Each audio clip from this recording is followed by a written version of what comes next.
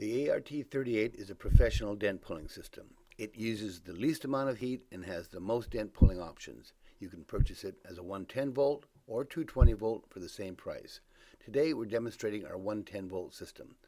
So you turn the unit on and set the timer between 1 and 2 for effective pulling.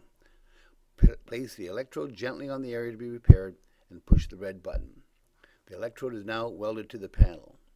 Pull the dent out using your own power and twist the handle to break the weld and repeat.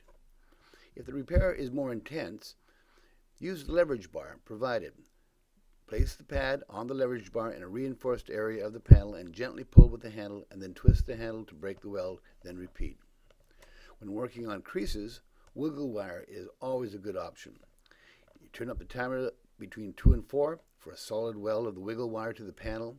Now you can use the five-fingered claw with your slide hammer to pull on the crease. Another great attribute of this system is the ability to shrink metal. This is when you'll turn the timer up even higher. There are no circuit boards in this system as they are always a problem in a collision environment. Instead, there's an industrial HVAC relay switch which allows full power from the relay to the transformer to the electrode. The ART38 pulling package is optional, but it does increase more ways to pull out dents and creases. The 10.5 inch electrode with a 2 pound slide hammer does fine finishing work with speed and accuracy. Using the key electrode is another option. It allows a technician to weld on small steel keys very close on the body lines and creases. This will allow the technician to pull out heavier damaged areas even easier. The more keys you attach, the stronger the pull becomes. The unique feature of this welder is the ability to be either 110 volt or 220 volt within the same welder.